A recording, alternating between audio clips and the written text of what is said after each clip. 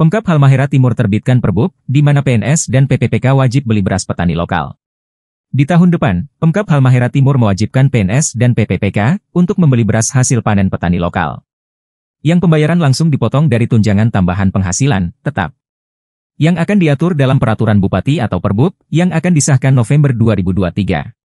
Hal itu dikatakan Sekda Halmahera Timur, Ricky Hairul Richfat kepada wartawan, Kamis, 19 Oktober 2023. Menurutnya, bahwa kemungkinan pada November 2023, perbuk terkait dengan pembelian beras dari petani. Untuk kepentingan PNS dan PPPK telah dikeluar, sehingga bisa diterapkan per Januari 2024. Menyangkut dengan hal tersebut, kita telah melakukan rapat dengan Dinas Ketahanan Pangan.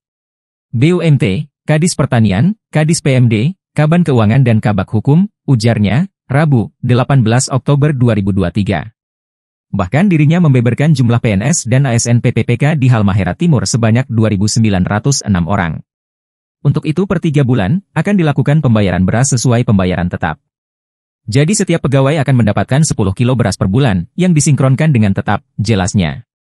Lanjutnya, Pemkap Halmahera Timur telah menghitung dari 2.906 PNS dan PPPK. Per bulannya dibutuhkan 29,6 ton beras, kalau 12 bulan maka akan membutuhkan 348 ton beras.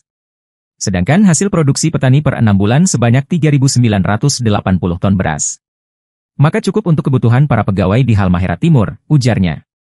Seraya menambahkan, Pemkap Halmahera Timur melalui BUMT akan memasarkan beras sisa dari 3.980 ton ke perusahaan-perusahaan untuk menjadi material konsumsi wajib bagi perusahaan.